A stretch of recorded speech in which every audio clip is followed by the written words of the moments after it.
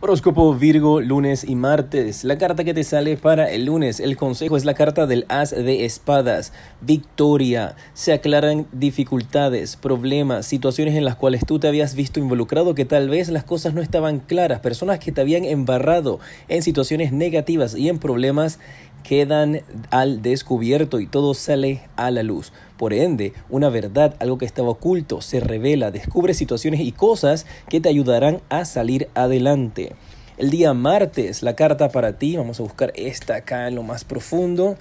Te sale la carta del mago. Este día martes tendrás toda la habilidad para poder transformar las energías negativas en energías positivas. Pendiente a una persona que te puede estar pidiendo ayuda, puede ser una amistad, una persona extraña a ti, bríndasela. No se la vayas a negar porque eso va a traerte a ti muchísima iluminación. Puedes transformar todo lo que toques en oro. Déjame tus comentarios. Quiero saber qué te parece esta lectura. Te decreto luz y progreso.